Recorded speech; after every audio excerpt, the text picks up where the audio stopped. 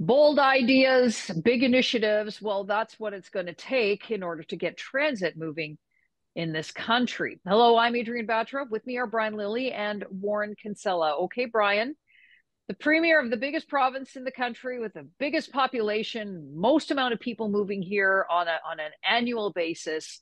We have gridlock everywhere from north to south to east to west in this province. Yep. And so Premier Doug Ford comes out with an idea, and all of our viewers would be familiar because they, they, they've heard of it or they've been here, is the 401 highway. It's a 400 series of highways all across Ontario. Doug Ford has proposed, proposed that they study tunneling underneath the 401 in order to create more room for capacity as the province continues to grow uh, and there's more and more vehicles on the road. So is this a multi-billion dollar boondoggle in the making or is there something to this? This idea is absolutely crazy but it might work. Uh, I'll, I'll, say this uh, uh, they're not saying they're going to do it yet. They're launching a feasibility study. And you know quite frankly the opposition parties if they were smart would have said yesterday you know, we welcome a feasibility study, but we'd like to look at other alternatives and we'd like to to see other possibilities. We need to do something. Instead, Doug Ford says, you know what? Traffic's really bad. Gridlock's horrible. It's it's slowing down your commute to and from work. It's slowing down business. We need to do something. Here's my idea. And immediately all three opposition leaders, oh no, we couldn't possibly do that. And they point to the big dig in Boston. Well, that's one tunnel. And by the way, it's open now and it works. But there are massive tunnels in Norway, in Japan, in Australia, where these types of things have been done and they've worked. So let's study it here. Let's look for a solution instead of just being the party of collective no, no, we can't do anything. No, we can't have nice things. Guess what? Bike lanes and subways won't solve everything. But the only solution the other opposition leaders came up with was well, we need to invest more in public transit. Right now, the Ford government's putting $3 of investment into public transit for every dollar they're spending on highways. The public transit's being built, and Ford's tunnel idea would include some form of public transit. They haven't decided what yet. You know, I I, I share some of the skepticism, quite frankly, Warren. Uh, I mean, governments of all levels and stripes have proven themselves incapable of actually getting big public transit like on the transit issue uh, done done on time done on you know when within that time frame and i point simply to the crosstown eglinton lrt which yep. is in the city heart of the city of toronto goes east to west still not open after 11 almost 12 years. Uh, a generation of, of kids have already grown up and this thing is still not open. So when you think of when you think of and hear about such a significant undertaking you just say government hasn't done it well. Name one thing that it does well but I think what's important here is the recognition that our our, our options and alternatives are are minimal based on our urban planning, based on our land use.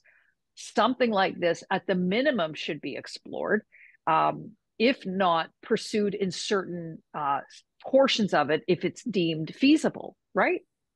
Yeah, right. No, and I think you are right. You know, governments have shown, unlike the time of the Roman Colosseum or the pyramids, governments have become pretty lousy at doing mm-hmm. major infrastructure, per- particularly transportation infrastructure. Um, however, you know, as Brian's pointed out, it is just a feasibility study. That he hasn't said we're going to do this. Um, but they do need to do something. It is the busiest highway. The 401 is the busiest highway in North America. And it's getting busier all the time. But the thing that bugs me, whether it's a good idea or not, what was bugging me, and I tweeted about this this morning, is like, you know, is, I'll paint a picture. So you've got in the deepest annex, you got the guy wearing his drug rug and listening to CBC radio and reading the Toronto Star, and he's wearing Birkenstocks with socks. You should never wear sandals with socks.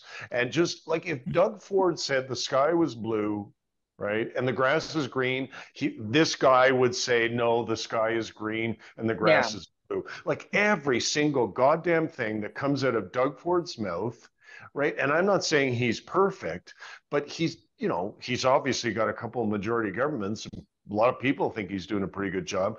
Every single thing he says, these people come out against it. And it is just like so boring. I'm so mm-hmm. over it. It's like, okay, well, then what's your idea? We all can't ride bicycles in February from Markham to get to work, you know? And, and by the way, we would like some of you to return to work. So, yeah. like, you know, it, it just drives me to distraction. The fact that they just cannot let this guy get off a single suggestion, a single idea without attacking it. And we're tunneling experts now. We've tunneled uh, kilometers and kilometers of subway, and this is not going to be any different. It will be one of the world's longest tunnels. You know, Brian, I think that's such an important point because if we were to go to a provincial election, which people are musing that it might happen before 2026, it might be sometime early 2025 uh, the what one would consider to be the opposition main opposition is are the liberals with a new leader and the former mayor of mississauga bonnie crombie but they have not made a dent they are not um, you know really other than perhaps changing the logo on the on their name of liberal uh, they really aren't making much of an impact. And and what's interesting about a proposal such as this one in particular, it was immediately right out of the gate that the that uh, the thir- the leader third party uh, Bonnie Crombie opposed it. She just out out of hand alleges that Doug Ford is corrupt and wants to pay people off because of the Greenbelt scandal and and, yeah. and add it all up her constituent, people that would support the Liberal Party, are sitting in their row, uh, sitting on the highways, sitting in their cars, stuck in traffic. And so Doug Ford, for for some of the challenges his government has put forward, has a sense of what is really going on in people's lives and is more in touch and in tune with them than certainly any of the opposition parties are. Bonnie Crombie is, is, still treated as a big star, but she hasn't moved the polling needle, and mm-hmm. her party is still underperforming the NDP in fundraising. They've raised less money year to date than the NDP. I know they got a big dinner coming up later this year. Good for them. You need to do something. But here's my problem with the, the, the liberals and the NDP and the Greens in the last election. And I've said this before. I could get their news releases, and sometimes they'd all arrive in my inbox within minutes. I could take the name from one party, put it on the other. You wouldn't be able to tell the difference. They all sound exactly the same. All right. So, what's your value proposition? Why would I vote for you instead of the other two? Uh, or instead of this guy who's coming up with a solution that doesn't sound like it was for Warren's uh, buddy hmm. in deepest, darkest annex, where they li- live in multi million dollar homes next to a subway station with a sign that says, Stop the 413. Um, those guys are never voting Doug Ford. Ford is looking. Uh, you know, despite he's doing a ton of things for Toronto for which he will get no credit, no votes, he's looking after where people live. And Bonnie Crombie was the mayor of Mississauga. She should know that commuting is a major issue.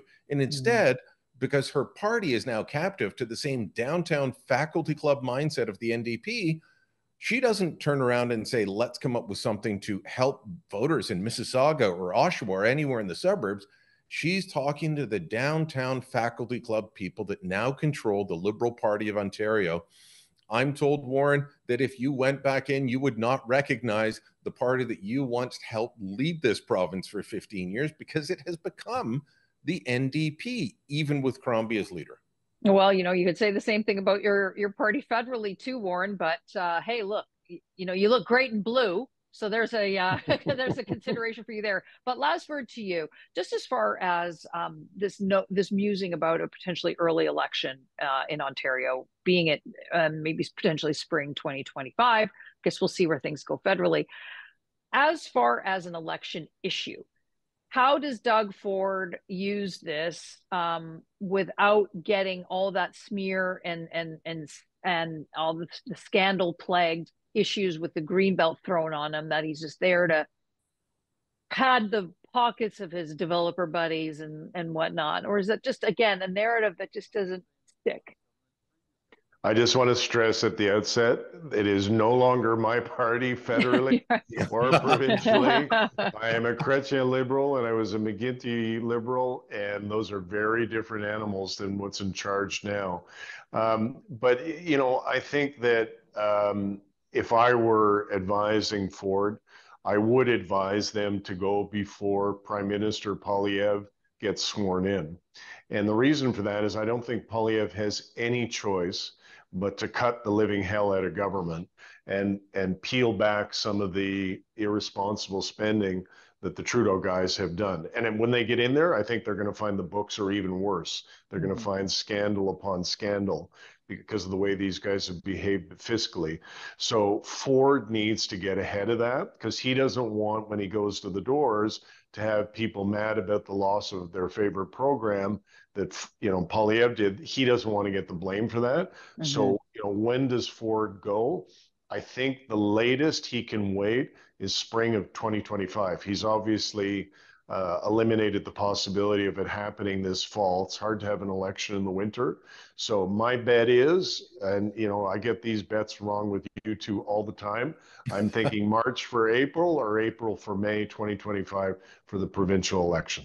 Well, let us know what you think in the comments below. Like this video and subscribe to our YouTube channel. Go to the torontosun.com. You'll find commentary and coverage there you will not find anywhere else.